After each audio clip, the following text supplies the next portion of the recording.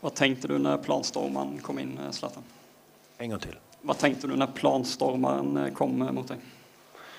Jag hann inte tänka så mycket för det gick snabbt. Domaren blåste av. Sen tänkte jag mer avstånd med tanke på covid. Så jag ville bara hålla honom på avstånd.